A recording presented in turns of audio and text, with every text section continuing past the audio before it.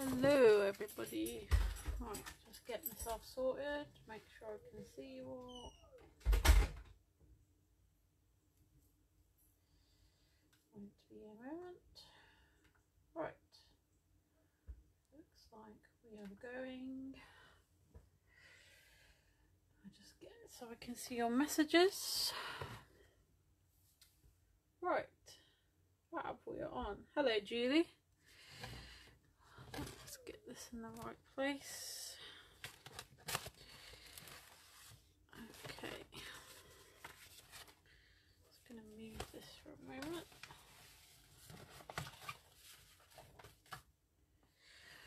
Right, let's find the page. This is my giant art journal again. I did the page in a couple of days ago. You would have seen, possibly. Um, let's just go here. Right. No, problem with the big art journal is very small desk, so let me just move things around so I can fit it in. Um, pop that over here. No, uh, down here. Okay, hello Diane. Oh, it's too much for me, I'm afraid. Can you hear me? Okay.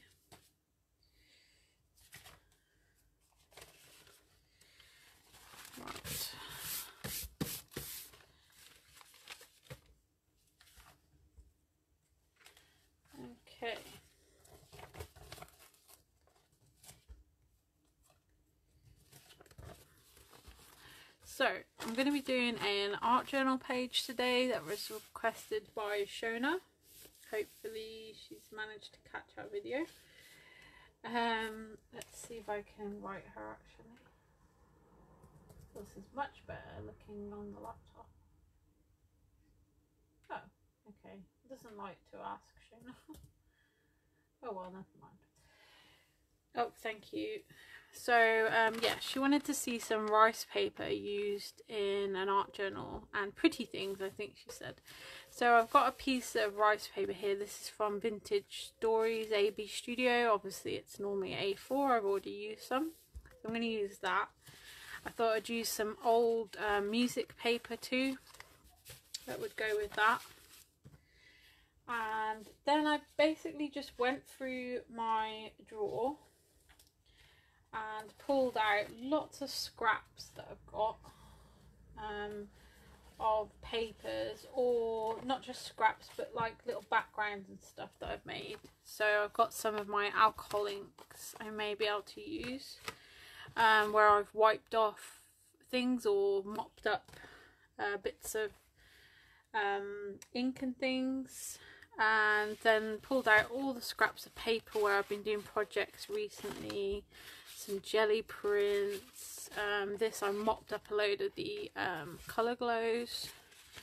Um, this one, oh I've forgotten the size. It is something like 14 inches. I had the band on. Let me see if I still can find it.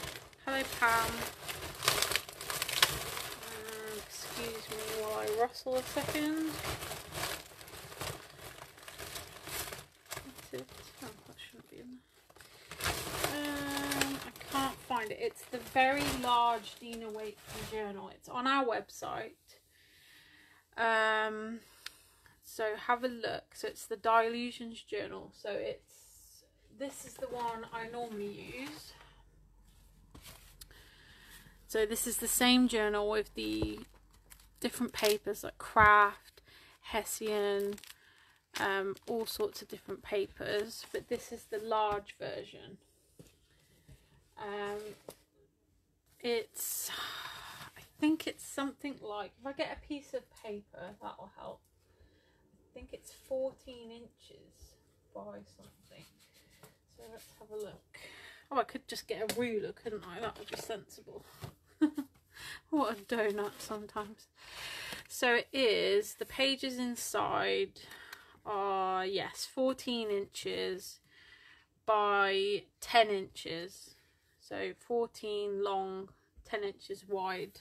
So it's, it's a bit of a beast. and you can get these on the website. So our website is thompsonscraftsupplies.com if you want to check anything out. Right, so let's start looking at some things. So I found some cork, thought that would go nice.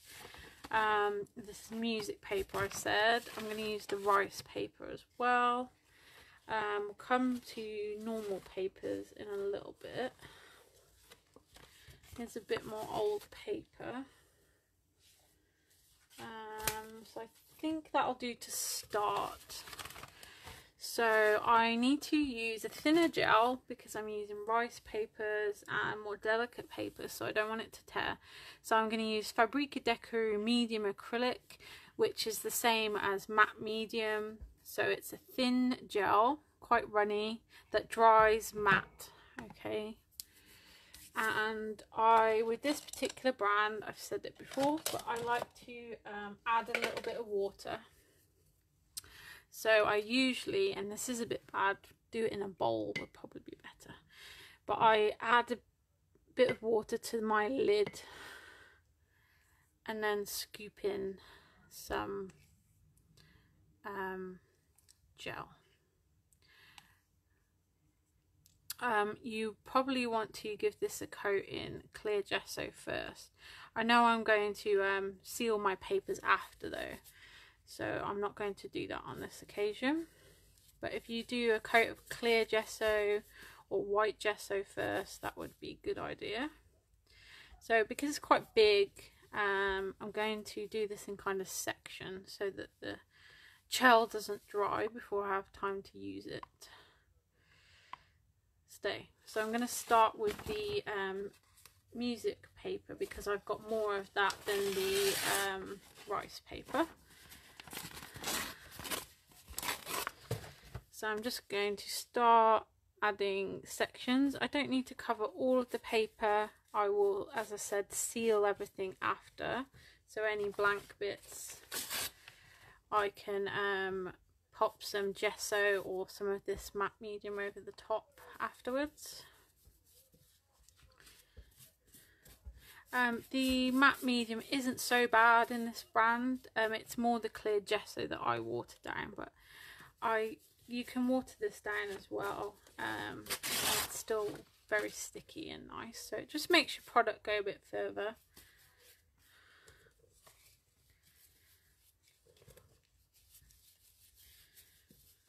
So this is, as I um, put on my post, it's a really great way to use up some of your scraps so bits you've got left after a project especially if you're doing something like an album or um, hi Neelam um, you know something where you're cutting from a larger paper to make smaller things like pockets and stuff. You've usually got quite a few bits left over or if you've done some fussy cutting from a bigger sheet perhaps um, you've probably got bits and bobs left over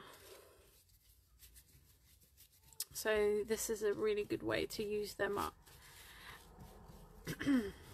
I would say don't keep every tiny piece because you get into a bit of a hoarder's uh, habit and um, you'll probably find some of those are too small to be useful um, so probably wouldn't keep everything. Just deem is it you know is this useful?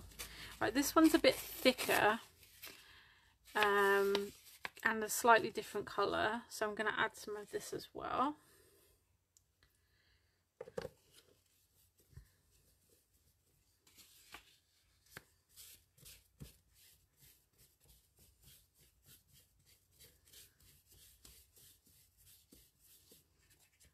something a bit different.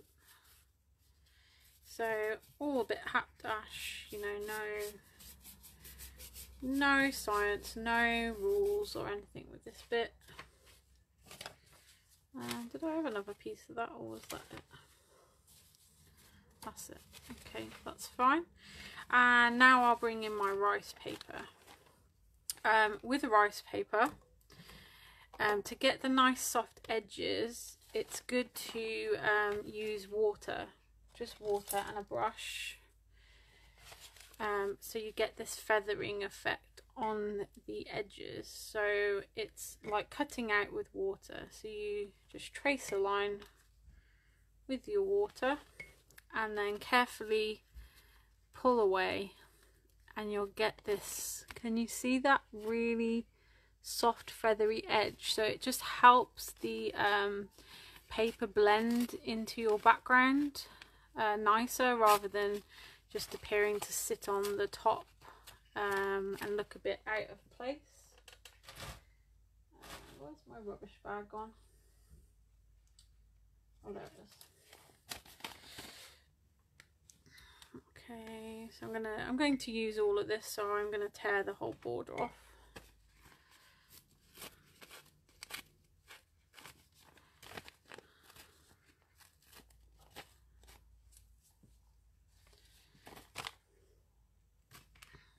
And then I will tear some shapes from it using the water again. Hello mum, how are you?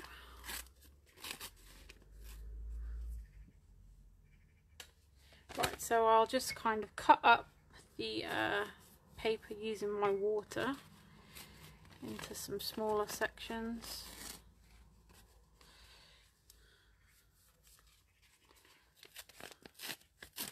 And this is just a, a pattern. It's not got shapes but this is um the really good way when you've got a paper that's got say flowers on or something like that um, where you don't want the background the white background say it is on.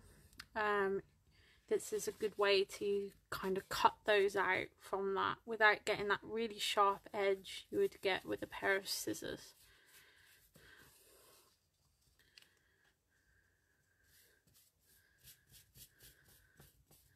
So where we've got those nice soft feathery edges now, we can smooth out from there with our brush. And it really just helps that blend into the background nicer.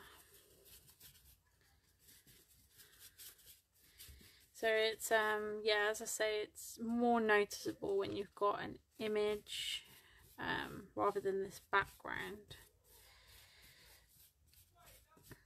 Uh, especially if you've got a coloured background and the rice paper has a white background. Sorry for the noise outside. Um, you'll really see that sharp edge if you don't soften it with water.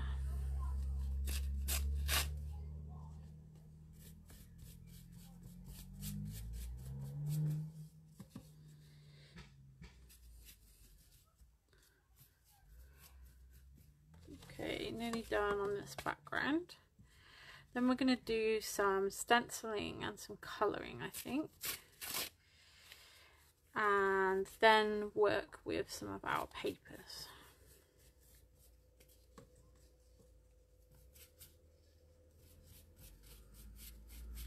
Okay, so before I do um, any kind of colouring, as I said, there's lots of blank bits and I want to seal this page. So I could either carry on with the matte medium would be fine because it's matte it's not going to resist or a clear gesso. Um, because I didn't gesso my page first I'll go with my clear gesso. So this is the Fabrika one again and as I mentioned I like to water this down a little bit because it's a bit thicker than a lot of clear gesso brands and I'm not looking for texture I just want to seal everything. So I'm just going to put a bit of water in my lid. Um, before you put the lid back on, if you do this, give it a good wipe, wipe it out. I was just going to leak down the side of your jar. And when it's something sticky, that's not great because when you come to then reopen that jar, you're going to find it quite difficult to open again. So I'm going to seal my whole page now so this will stop seeping through to the next page and it also makes your colours more true. So it's going to sit on the surface the colour rather than seeping through into the page and becoming a bit duller um, especially if you're using say we were on a kraft page or a black page um, it's just gonna seep in and not be the best colour, not be quite what you wanted it to be. Um, be careful when you're going over rice papers, they're, they're quite delicate. So don't scrub too hard um, as you're going to wipe away that image. And there's me putting the lid on, doing what I just told you not to. Um, yeah, so don't scrub them too hard. You know, they're, they, you will rub away the colour and the image. So just be careful how wet you get them and how hard you push with a brush on them. Okay, so I can get rid of that now. I know I won't need that. Um, I was going to do a bit of crackle as well. So let's dry this.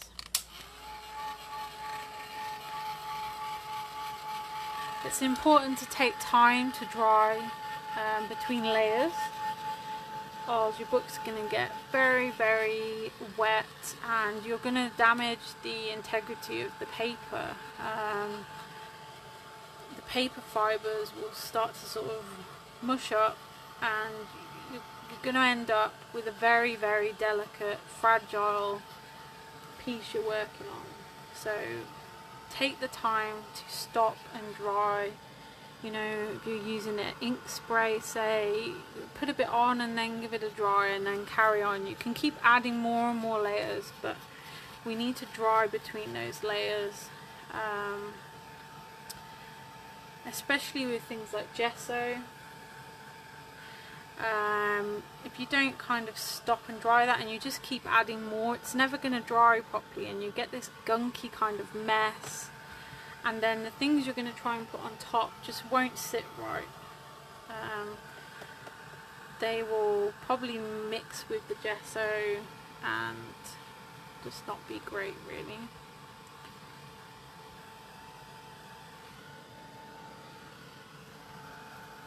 Okay, that's dry enough just to do my next layer. Um, so I want to pick a stencil first and do some stenciling with paste. So, oh, look at that. That's exactly what I said was going to happen. I have all this good advice, but I don't follow it myself. My my gesso is now leaking out of the jar because I didn't wipe the lid. oh idiot. Right, so some paste. Let's see what I can read. Ah, there we go. Fabrika texture paste, my favourite. And let's find a stencil. I I started looking for a stencil this morning and then I ended up sorting out my entire stash of stencils and um, chipboards that I have in the basket next to my camera and then I actually forgot to get stencil out so let's pick something. Uh, let's go with these clocks. This is AB Studio stencil. Uh, ID 214 you can find in our shop. And this will go nicely with the vintage. So I'm going to just use regular texture paste for this. This is Fabrika one. Um, I like it, it's nice and thick has a good chalky texture so um, if you were to apply say inks over the top it clings really well and it puffs up nicely too so I'm a fan of this one. I'm going to just do random areas I'm not going to do the whole stencil. And in art journaling the background is really important because we we are limited as to how much dimension we can add. We need to think more in flat layers. Um, so all these little steps are really going to add to the overall look because we can't add tons of layers and decoratives like we would do on a scrapbook page say because you won't be able to close your book um, so being really creative with background effects and papers and things is is really how you get the look in a art journal. Um, but it, it's whatever you use there's no there's no right or wrong. This is you know this comes from my kind of oops um, mixed media you might not be a mixed media person that uses papers or you might not stencil. You might draw. You might use uh, pens or um, crayons. So whatever it is you like there's no rule but we do have to think to keep it fairly flat. This is a, a journal where the pages are sewn into a spine so it's not on rings or anything like that. So we really do have a limited amount of dimension we can build. I'm just giving that a wipe off and I'll clean it properly later. I'm going to give myself a good wipe because I'm a bit sticky. So just some random areas of stenciling there. And I'll just wipe off my palette knife too and then I'm going to add some crackle paste just with my palette knife I think. So let's move that one out of the way. So the crackle paste system that I like to use um, recently because I'm not the best person with crackle paste so having one that's reliable is really important to me and I've never had this one not work. So you have a primer and then a paste. So you put the primer on and then apply the paste over the top. You can dry it with a heat gun as well. It doesn't affect use. Um, I'd even say it actually works better with a heat gun.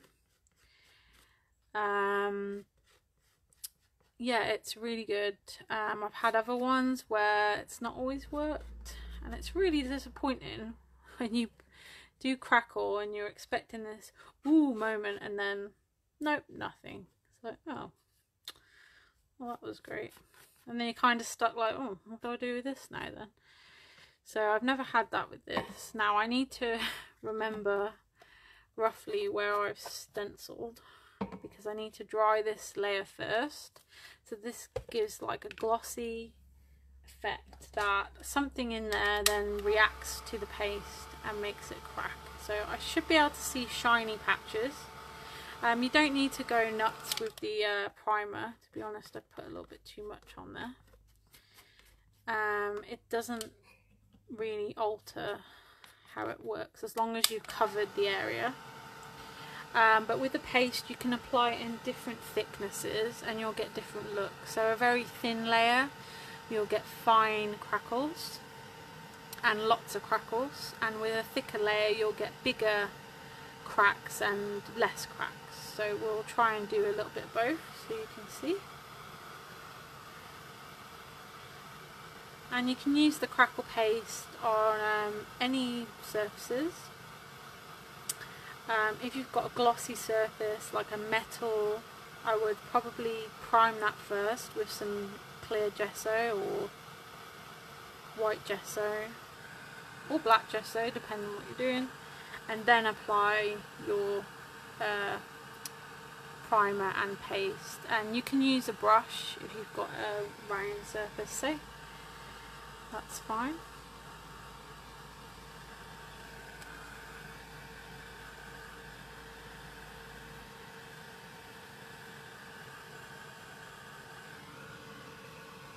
If anyone has any questions at any point do you just shout. Well don't shout I won't hear you type in the comments and I will keep an eye and answer you.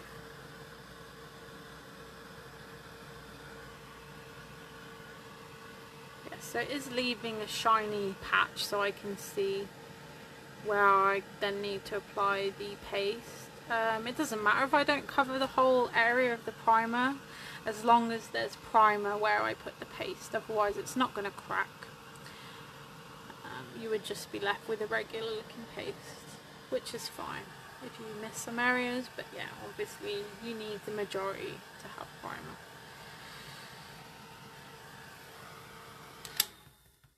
That should be enough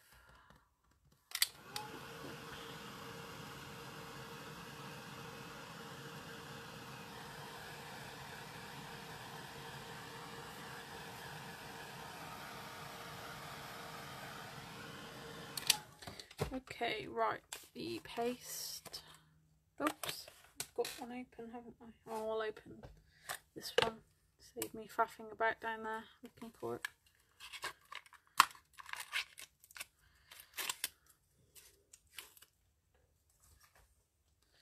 And I like to just give these a stir a bit and then you, because they're moisture in them um, settles a little bit so just give it a bit of a stir Okay, so let's see. So I had some here. And here.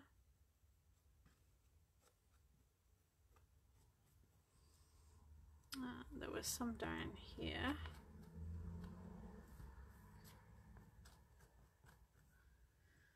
And up there. And here. You can use this for a stencil as well. So what you could do is just put your primer everywhere. Say in a say you're using a six by six stencil, you could um, cover the a whole six by six square just with a brush or um, palette knife. Uh, so it's everywhere and then put your stencil down and use your paste on top. Okay, I think that was all the areas. Did I do some here? Can't see now. That'll do. Right, and now we need to dry it. So I've put a bit thicker and a bit thinner in some places.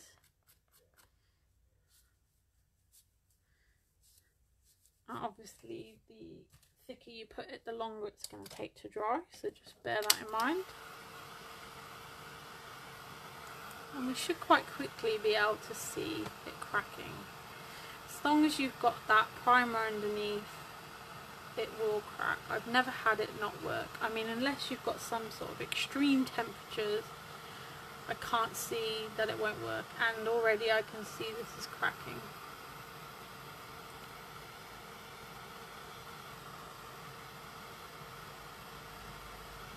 That's just lovely.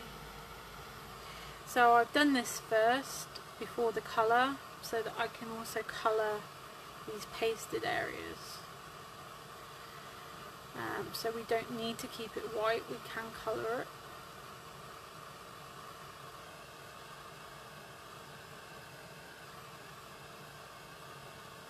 And I need to remember to dry my um, regular stenciled areas as well.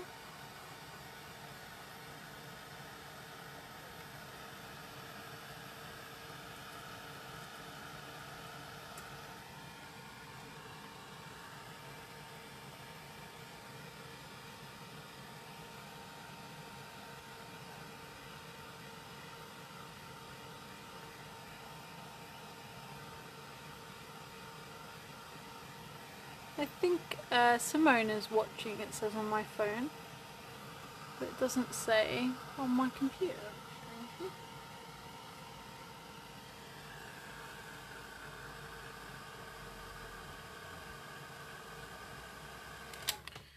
So I've got a bit too much there. Hello Cleo. Just going to take that bit off. It was a bit thick. There. I like that bit.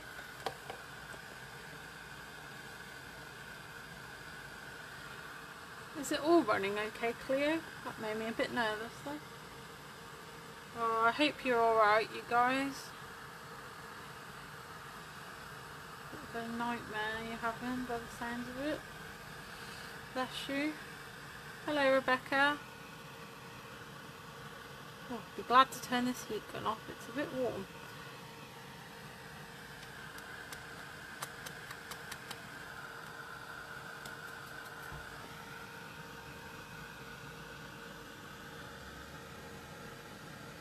Hold my page up in a minute so you can see those crackles better. So this is a great um, thing to use if you're looking to get an aged look or a worn look on your work. On a break. Oh bless you. Get it, make sure you get a drink. My age is having a bit of a mare today as well. It's all going a bit wrong at work. So, so far I've applied some old book papers with my um, matte acrylic, medium acrylic or matte medium. Um, I then added some rice papers using the same matte medium which I'd cut out if you like and softened by using a paintbrush and water. I've used the clock stencil with some texture paste and I've applied some crackle paste as well um, just with a palette knife and I'm just giving it all a good dry now before I start colouring.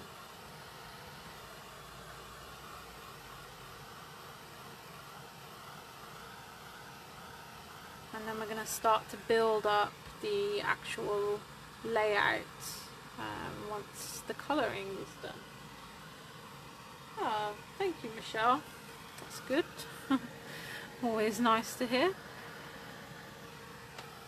Um, once you get into the point you're going to add wet stuff, bit of a tip in the journal, it's not really rocket science, but obviously you've got pages underneath so it's a good idea if you can to put um, something plastic in between, if I actually had room, in between your pages to stop so that if any of that does run off, it's not going to run onto the next page underneath. Just while you're doing any wet work.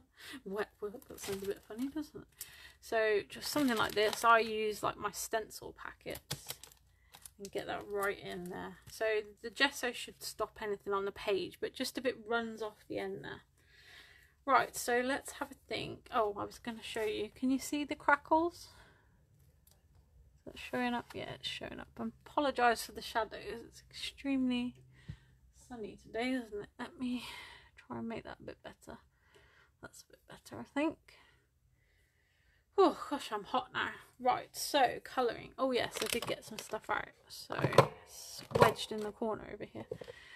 Um, I'm going to use my uh, powdered paints today. So I've got Magic Paint by Fabrika Deco in chocolate bronze and I've got amber and golden calcite from 13 Arts, the colour glow. So these are basically powdered pigments, um, powdered watercolours, um, and they both, these uh, brands are two-tone metallics. Um, so this has a brown pigment with a bronze metallic shimmer, and these work kind of the same. So we've got like a yellow pigment with a golden glow and a, a um, bronze pigment with a, a bronzy kind of uh, glow, which you'll see in a minute. So how they work, they work basically the same. Yeah, I love that stencil, really nice one. Uh, this one is in a little pot, so you just open it up and tap some around. And they are quite pigmented, so don't go too nuts. Um, you can always add more, but it's harder to take it off. And then you waste it as well. So start with a little bit. Now these are big pots. So once I open this, this is, um, this is um, a open jar. So I tap the lid to get that powder down. And then I always open it over either what I'm working on or um, a mat so that I don't waste any that comes out when I open it. So these look like this, okay? So it's um, easier if you want to scoop out, say you want to mix this into something, then it's easier for that, but you just have to be a little more careful when you open it, okay? And then, and again, when I'm putting the lid back on, just doing it over my work in case any comes out. Oh look, the cat's arrived. uh, I did I say he went missing for ages? It's not my cat, by the way, as I tell you. But yeah, he went missing for a bit, and then he reappeared with the most frightened look on his face I've never seen from an animal. So I think he must have got stuck somewhere. Poor thing. Right, we'll start with that. Um, I want to keep quite a vintage vibe, so I don't want too much yellow. And then our water spray. Um, oh, sorry, knocked you. Now I spray kind of at an angle so I don't send the powder flying everywhere. Um, or if I'm mixing them on my mat, I'll put the water a little bit away from the powder and then work it together with my brush so that you don't blast those powders everywhere. And this mix should give me a nice vintagey colour. It's quite yellow at the moment. That's a bit too yellow, so I think I'll add more of the browns. I'm going to just spray all my page as well so that I can get this moving around. So I'm going to add some more of the bronze and then I'm going to start moving this around. Hello Liz with my paintbrush.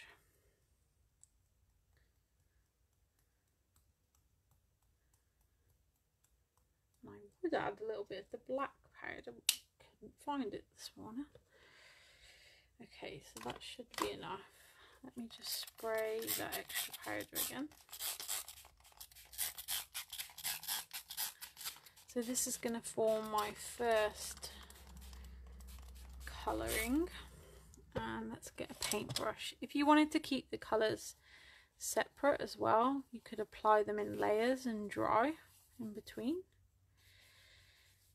Um, if you can quite see, see the edge that's um, important to mop some of that out because that's where our um, pages are kind of stitched into the book. So if we get that too wet it's going to um, potentially you know damage the the um, what's the word I'm looking for you know the, the structure of the book so try not to uh, get that too wet. I mean, they're very decent books, so I, it's probably nothing to be too concerned about. Um, just me being paranoid. Um, and also you get ugly, like sharp lines if you leave that in there.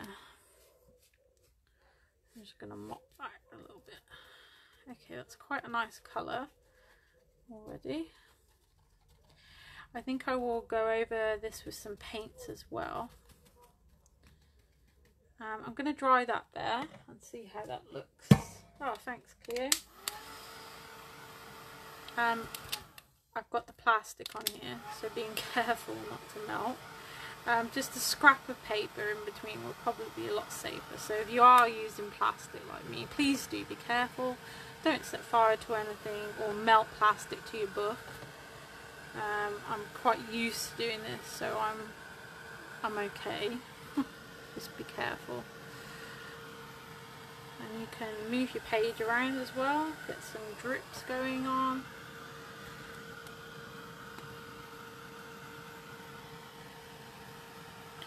And I can see, which is really cool actually, um, I'm going to think it's from the rice paper and that how you build colours. So you, you make colours, sometimes the way they're printed, there's different layers of colours put in.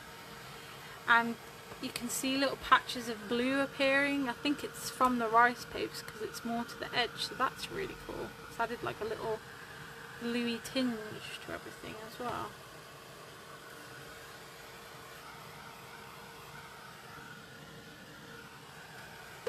If any areas are a bit too wet you can um, just dab those off gently. And you have to remember that this paste um, they're gonna they're semi-resist so it's not like if we put a gloss um, on there it's going to completely resist. But they do have a semi-resist so it, it's taken to it a little bit um, but not fully. So if we wanted to completely cover that we would need to use something um, like a paint, uh, an acrylic paint or wax will work which we'll probably add a bit of later. Right, this is dry enough I can take my uh, stencils out so I can dry this properly without melting my stencils.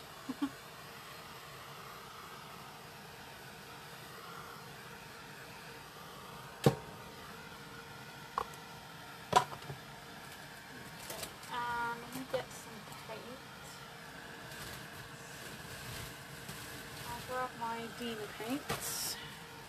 Look for some suitable colours.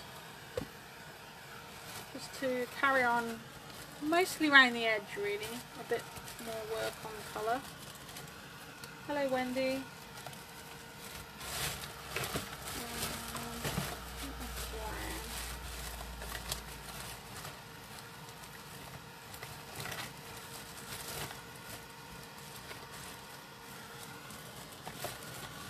so you see when you dry these um, magic paints and colour glows the metallic really starts to dazzle and pop out.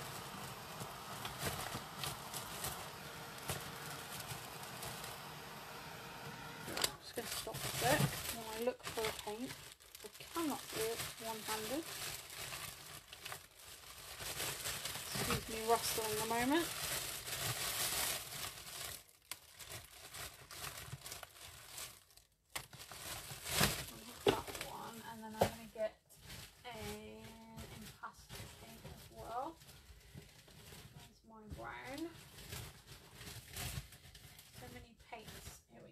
So I'm going to work on the edges with Ancient Dina Wakley acrylic paint, which is a metallic, and impasto paint, a very thick um, matte paint from Finnabair. So I like to do these with my finger. Um, they're great paints for kind of finger painting and you can control them. My page is still a little bit wet in places so that will water it down a bit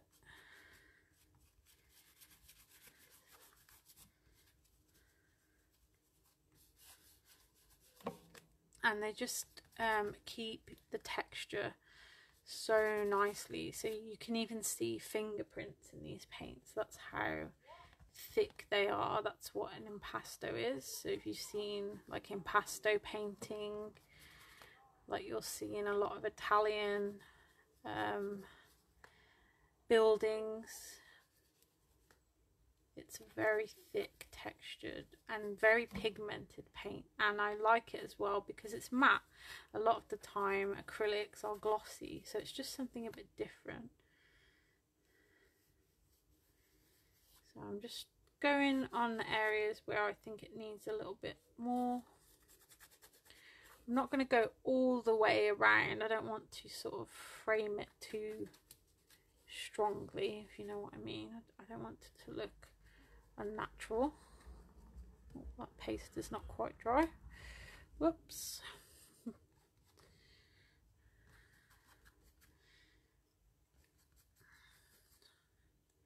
and the paints can be used as well to get a rust effect. You don't have to use a paste. Um, you can build up layers of matte and uh, metallic paints to get a really nice rusty look too. Okay, that'll do with the dark paint. Um, the Dina ones are also quite textured, but more not as thickly as the uh, Finnabair ones. I think I'll just carry on with my finger. So really yummy colours so and now we'll go anywhere that still needs a bit more I'm going to finish my page off I think at the end with a touch of wax so anywhere I'm still not quite happy with so no need to panic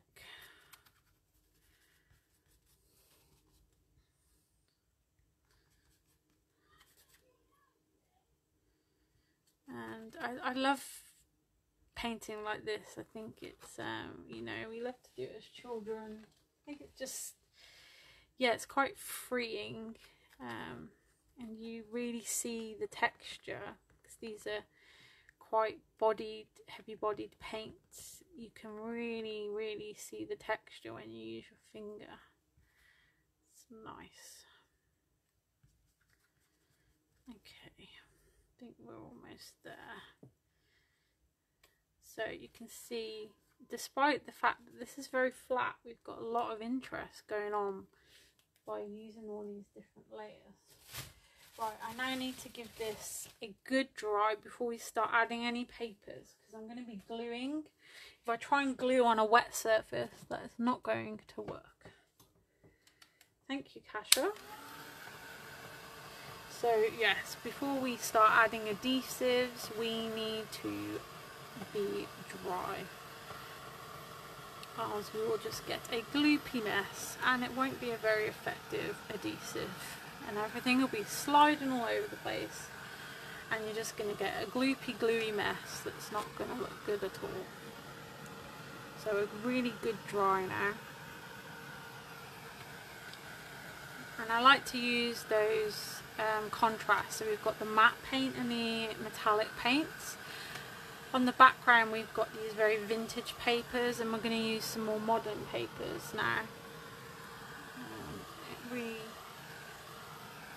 does give the eye something to look at. Now at the moment there's no focal point to my page. The eye's sort of dancing everywhere. And this is just the background so I need to make sure I build a focal point as we carry on now.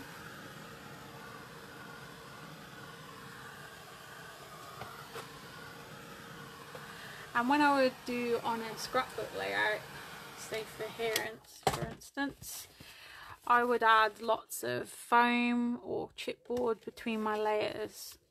Uh, how well you can see that to give this dimensional look but we can't really do too much of that on here and I'm going to be adding chipboard embellishments so my paper layers are just going to be one on top of the other on this occasion because I can't build it too big so we've used those I've got a bit of cork I said I could use so I'm going to have a look through my paper scraps here what would work that could work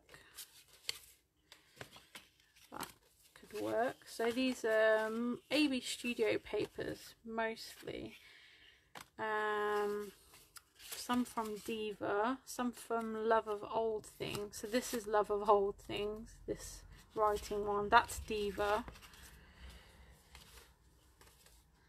And that's a bit too pale. This is that same page again. I think that would be really nice. Oh, are we getting angry faces? Oh, why? What's that? What's happened? Have I missed something? Is there anything we can help with? I didn't see that.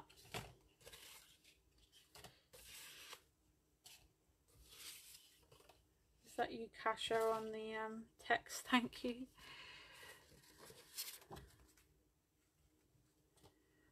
Let us know if there's something we can fix if there's a problem.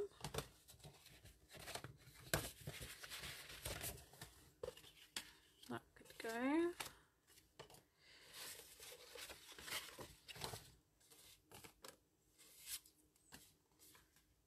Okay, I'm going to discard all these green pieces for this piece because it just doesn't go with the colours I've created. And we've got these little strips could work. See, I've got all these. I did a little album. So all these little bits are now really useful because I've got strips pre-cut. Yeah, definitely. And here's a little 6 by 6 pad as well. This was another small album. So I've got all these strips cut nicely now that will be great to layer up. Here's some more bits. Okay, I think that's going to give us plenty. This is from 13 Arts Travel Album that we did on mine and Kasha's page. Hello, lovely. right, so I think that's more than enough to be carrying on with. I could use a bit of that. That was just where I wiped my brush off, I think. And I did think about this alcohol ink background, but I think it's just too modern looking for the look I've created. So that will do. Right, I'll put that away again as I organised everything. Right, oops, hair bubble, don't think we need that. So let's just give one last check that it's dry. Oh, a little bit up there that isn't.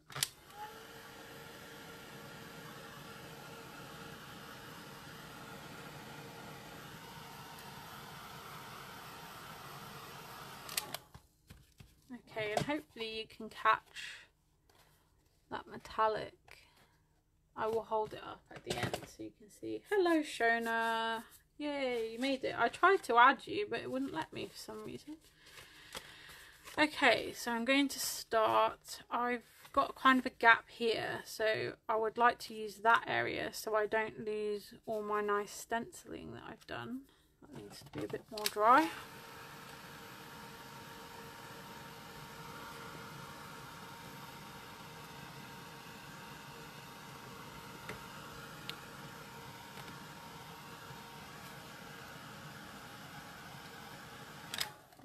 So that's where I'm going to build up my piece, I think. I don't like going slap bang in the middle, so I'm going to put it slightly off centre. So that's going to be where I start. And um, normally when I'm building, I don't know.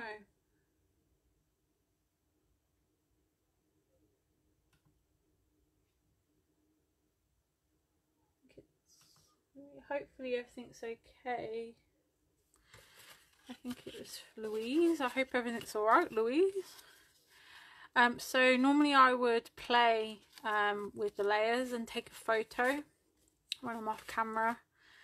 And um, so then I can deconstruct it and reassemble because I've got a photo to refer to. Um, obviously I can't do that on camera. Um, so I'm going to switch. Now the medium acrylic I used before probably be fine because it's just paper but I like to at this point just to be sure I'm going to switch to my 3D gel. And I'm just going to go for it today. So if I like the way something looks I'm going to commit and stick it down um, now my advice normally is not to uh, stick right to the edge because if you think oh that would look nice tucked in there and you've gone right to the edge you can't lift that up and stick it under. So I tend not to stick right to the edge and also adds a little bit of texture then as well where the edges poke up. So what I'm going to do is chop this in half. Oops that's far too much jar Oh, okay, so maybe no worries. Well, hopefully everything's alright, Louise. If it's an accident, then that's absolutely fine, of course. Just wanted to make sure you're okay. so I'm going to go with that nice dark brown bit I've got. Um, let's have a bit of a longer strip. Now I've got the um, the border still on so I need to remember to take any of those bits off.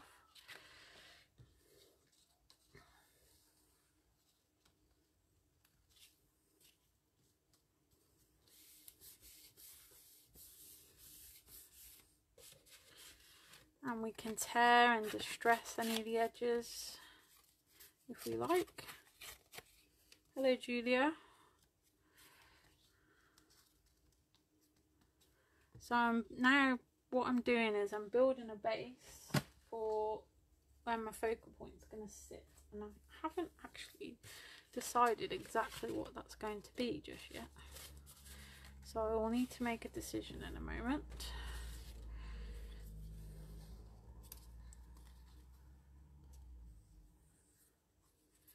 So yeah, keeping strips like this, I mean that's really thin and I nearly threw it away and I'm glad I didn't because look now how easy I've made my life on this page. I've got all these bits cut out ready to use.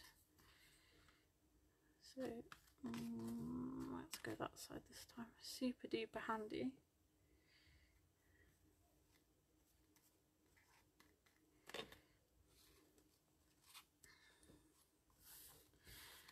And by not using foam dots or anything we're keeping this nice and flat. And the gel means where you know we've got some dimension because the papers are on top of each other. The gel will allow me to just squish it down to the page nice and easy. It's a bit too yellow. Um, what else have we got? Um, I think that's too white the background Maybe some of this brownie a bit. And you will cover up some things you do and you just have to deal, you know, you just have to accept that in mixed media. But that's why I would always say keep your really nice, um, move it to the right. I not quite in camera? Thank you, Kasha. Is that better? Um, yes, I would save your really posh embellishments and really, really pretty bits till the end. So you don't end up covering them. And when you do stenciling, you know, go quite far out so you don't cover it all. Hopefully you can see better now. Or do you mean the other way? That way. That's better, isn't it? Um, I think we're nearly done with papers.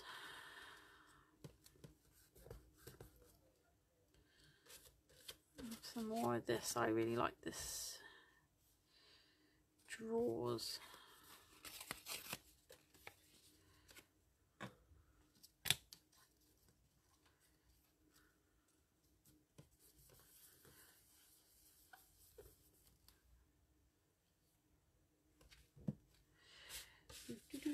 And maybe a little bit more of that one.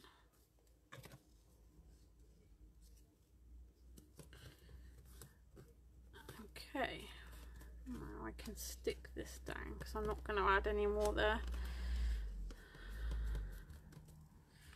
Right, I think that looks pretty good. Just gonna have a look. Oh, that's quite interesting one. Let's have a bit of that as well. Yeah i say you know don't be too silly like if you've got the tiniest little circle of paper you know and it's just it really isn't useful then don't keep that. But all the you know these are beautiful papers that why would i throw those away? Um so i will put them back into my stash. Oh i had this cork as well. I might use that in a minute under my got. Put them in my bin. Put near my photo.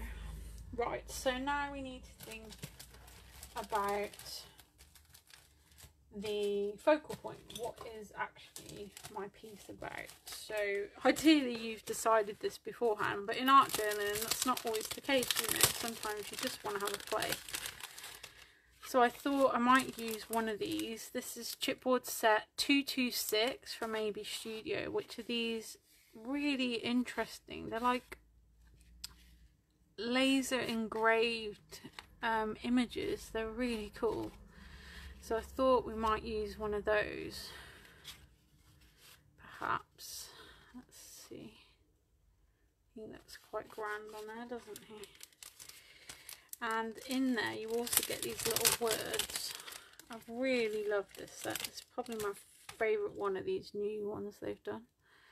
Uh, so we've got 1890 photo vintage atelier diary and I've already used some of them I think.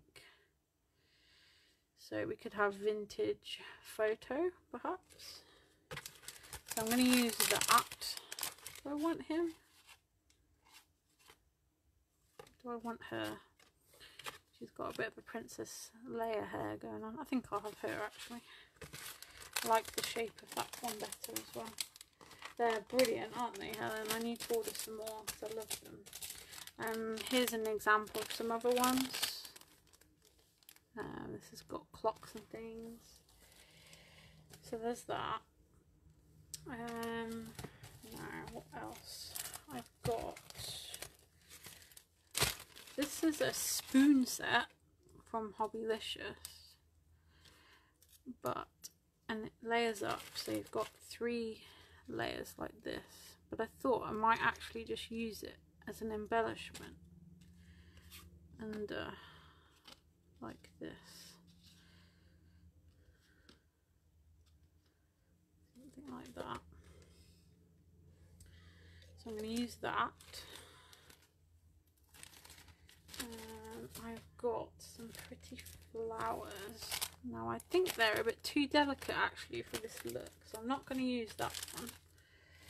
Um, but I've got this one I really like. I keep going to use and I haven't. This is Chipboard 125 from AB Studio. Yeah, the clocks are lovely. I don't know what number that one is because I've got a package with no number on for that one. Uh, where did I just put it? Oh here. But it's a bit more of the um, gothy quirky sets. So you've got like the skulls and things in. It's quite cool. We could have a clock. Oh actually.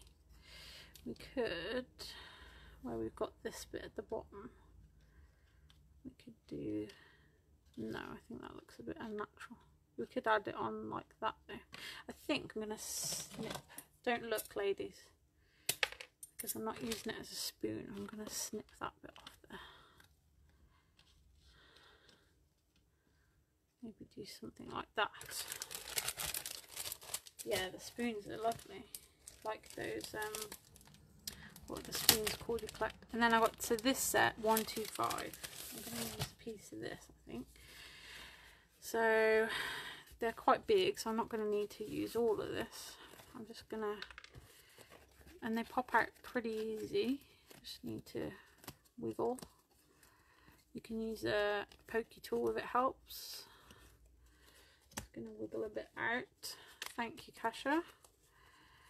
And I'm to snip off just a, a bit. I don't want it, this whole piece because that's too big for this page.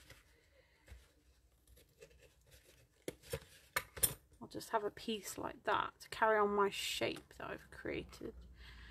So chipboards are great in art journals. They add dimension without being too much.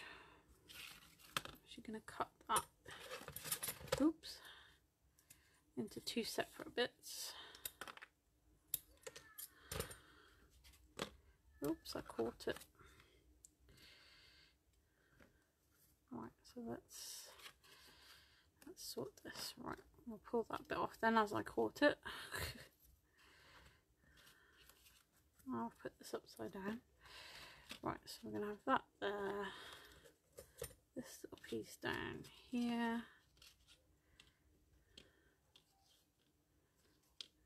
Um, I don't know about the clock. I don't think that works actually. I'm not to have the clock. Right. Um, more of that there. And I'm just going to play now where my embellishments work. Um, what else is in here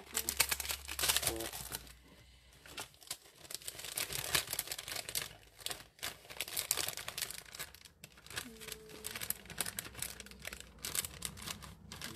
don't want them so thank you Diane her. I've got quite a lot of these bags of uh, various MDFs and chipboards and things that I collect. So let's see what I can find. Uh, needs a little something else. Excuse me while I rustle a moment.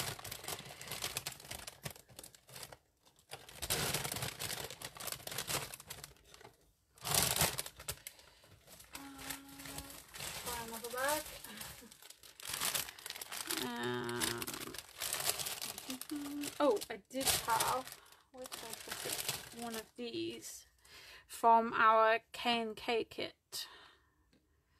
That may, look at that. Oh yes, yes, yes, yes. That looks better. Okay, yeah, we're getting there. Hello Jolene. Lovely holiday. Are you still on your way back or are you back? Uh, what? What else? What else?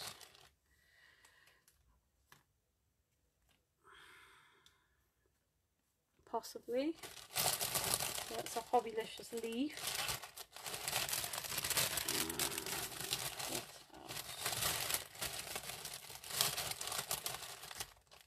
you're driving home. It's probably a beautiful drive, I would imagine, especially in this weather. Or is it a bit too much?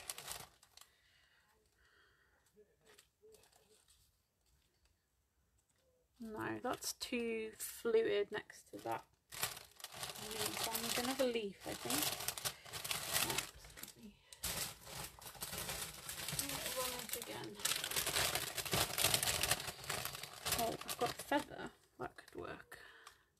To echo this leaf. Yes, there we go, that's better. Right, we're getting there, we're getting there. And I need to obviously colour some of this. You have to speak French to you now because you're still here. Oh, uh, bonjour, mademoiselle Jolene. Um,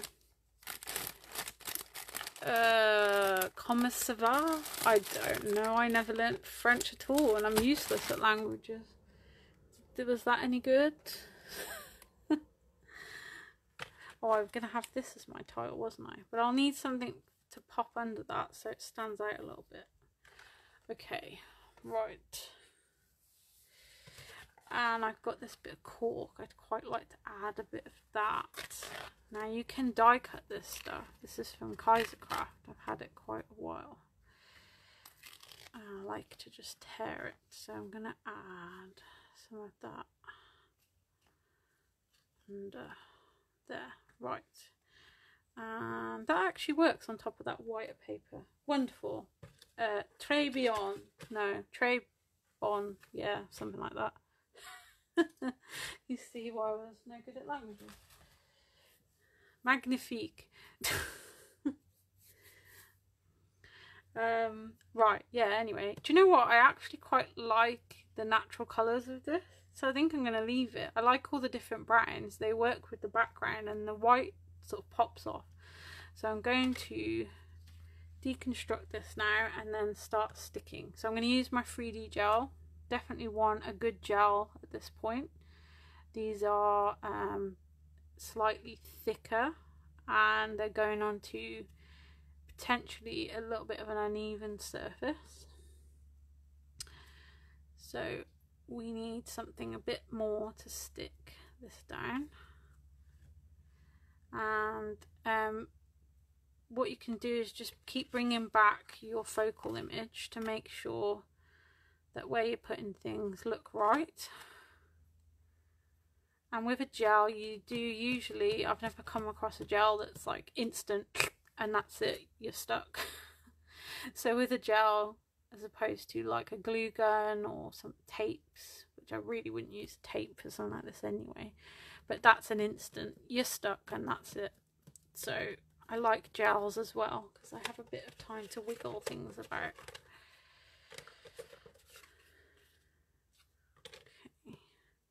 Now this is a little bit um, of refusing to stick just because I've got all these paper letters in the middle so it's more dimensional than the outside so we just need to help that stick a bit. You could use your glue gun, uh, your heat gun rather, to set the gel a bit if it's really refusing.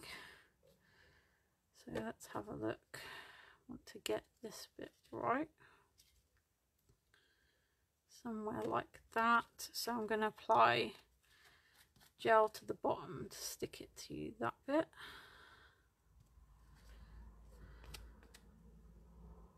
Absolutely, all suggestions are welcome.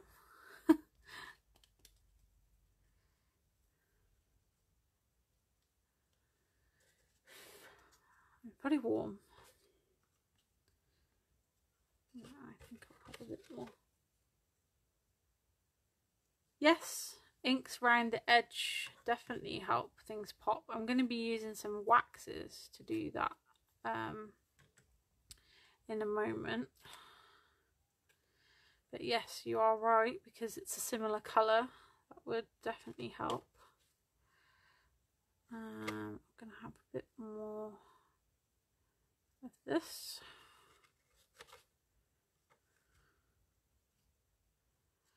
and then I'll have a bit more over here so I've kind of a little patchwork quilt there aha yes and I'm going to faff about a bit at the end and uh, see what needs what. Let's have a look. Yep I'm happy with that there so I'm going to stick that.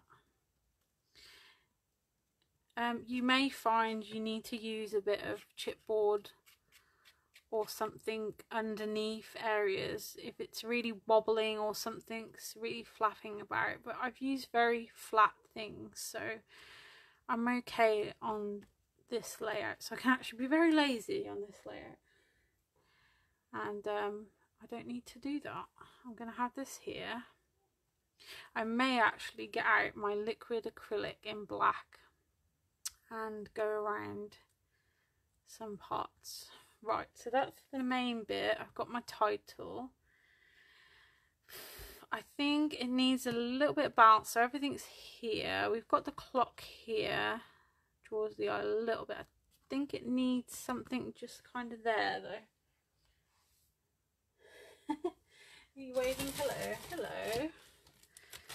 Um, so I'm going to dive into my metal bag because these colours will go very nicely. That's a bit too much, I think. Hmm.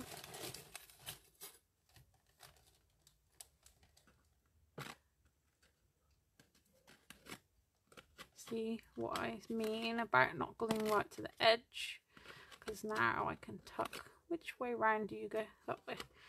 I can tuck some bits in. That's better. That colour just draws the eye a little bit that way. That's it that's what I needed right and I can use my gel for that because this dries clear.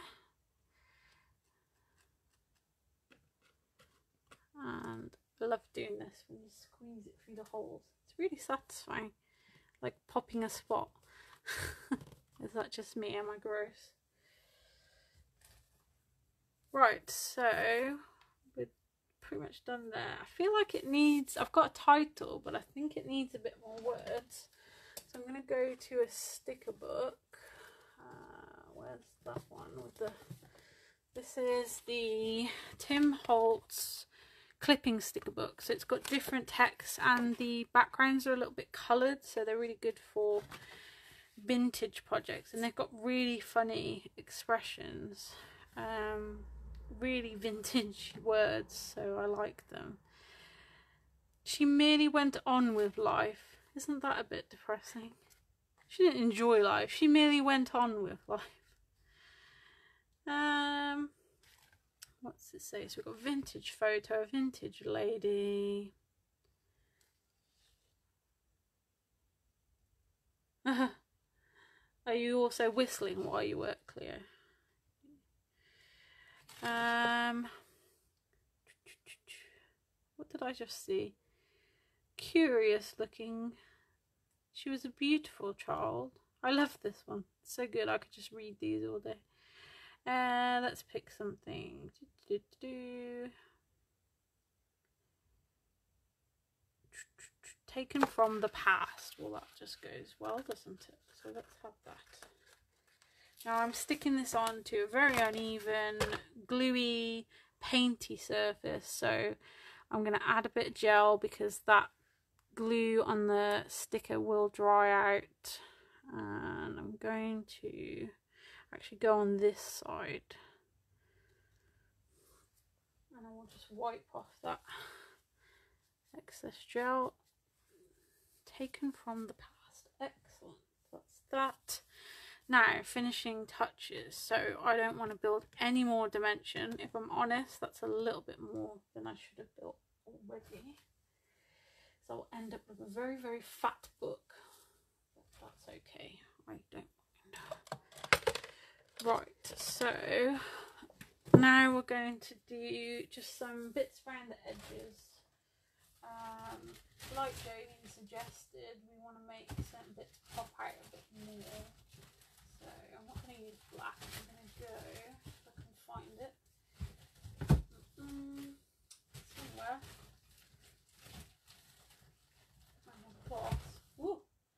Just knock the laptop over. Cloth umber, which is like a dirty green brown colour. Can I find it? No. Too many paints. Too many paints. Can you have too many paints? Is that possible? I don't think I've got enough yet. Uh, every colour but umber. Come on, umber, where are you? Umber, here we go. Umber. Liquid acrylic, so very, very, very pigmented uh, liquid acrylic. So have all the properties of an acrylic, but in a liquid form. So they will dry with a slight gloss and will be permanent. So I spray the water next to that, just like I was on about with the colour glows. And I'm going to get a small paintbrush and I'm going to use this to pick out any areas that are disappearing a little bit. So I'm going to go like a little bit stronger. My paints are a bit funny because they were a dodgy batch that were frozen and I thought well I'm going to try to use them instead of throwing them all away. So yours won't come like that. Right, here we go. So I'm going to go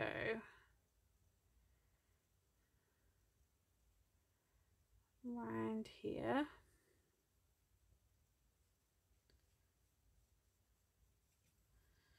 To make this all worn and old looking and it'll help prop that photo up a bit as well.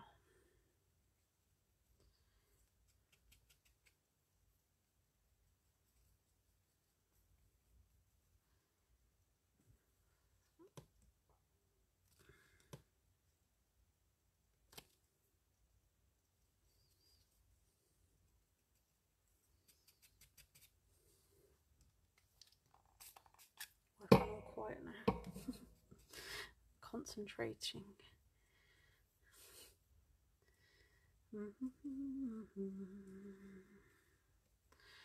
Okay, I've got a bit of the gel there. Can you see it's resisting the uh, paint?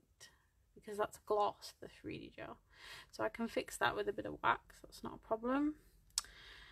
Um, maybe a little bit onto this whiter paper not all the way because I want that word to pop out still and I'll go try and carefully go around the words a little bit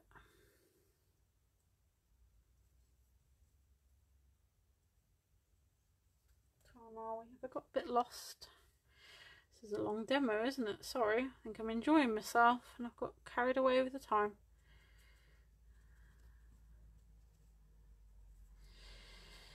Okay.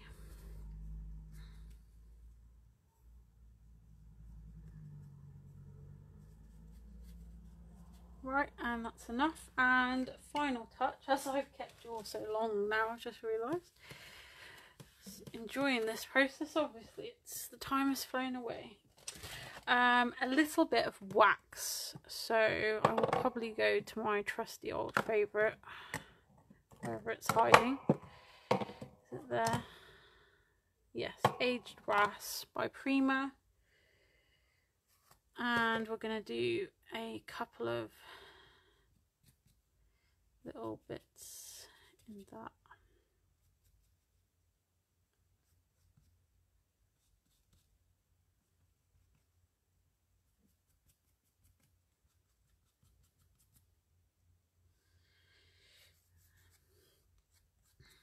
So it's a bit of a highlighter.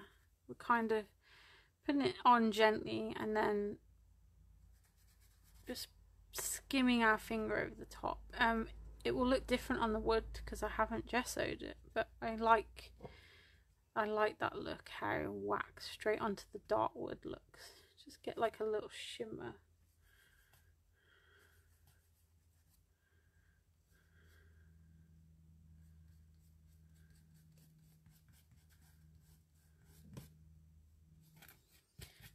And this will really pick up those crackles as well wax. And that's stenciling.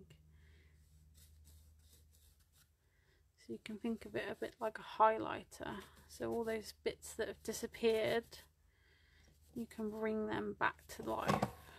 And if we don't like some of this painting we can alter that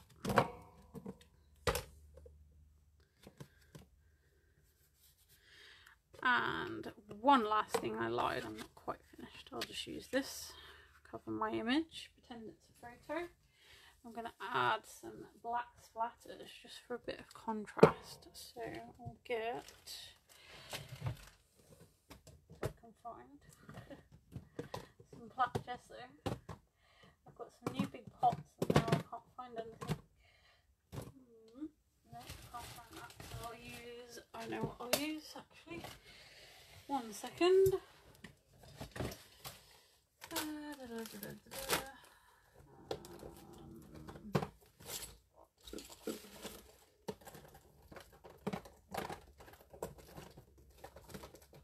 too many things.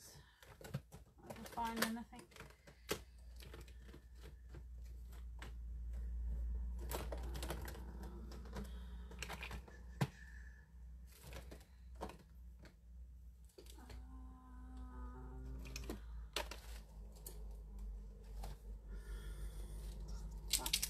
Right, I've got a paint pen. This will do instead. It's not been used for a while, so let me just right. I don't know if it oh it will splatter, yes. Or on the wrong page.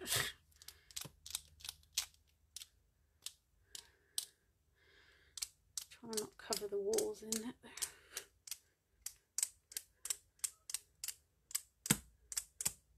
It's not the best for doing splatters, but I can't find my black gesso at the moment. So well, I'll just, just squeeze some of it onto the uh, desk instead. Do it that way. And get a paintbrush and some water. Let's do it that way. That's better. I'm not going to cover the walls in black paint then.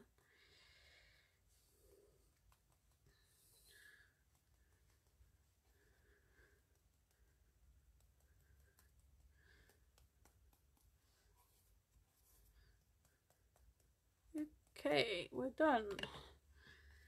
Right, there we have it. My vintagey um, journal page. I shall lift this up now for you. So you can catch the colours. Ooh, don't knock over the water pot. Conceal that. So different ways of using rice papers. Um, you could use tissue papers instead. Hello Michelle um, chipboards, um, playing with the looks of different colours of woods and chipboards to get a vintage vibe and also you fancy being lazy so you don't have to gesso or paint anything. Um, and using up those scraps we built this lovely centerpiece just with strips and scraps of paper. So I hope you liked that and hopefully gave you some ideas uh, Shona. Thank you Michelle. And I'll get this photographed and put up um, so you can see it better. Apologies for the lighting, it is horrendous in here with the sun at the moment. Um, so thank you for joining me and I'll catch you next time. Bye bye. And oh, um, the goodies you can get on thompsonscraftsupplies.com. Bye guys.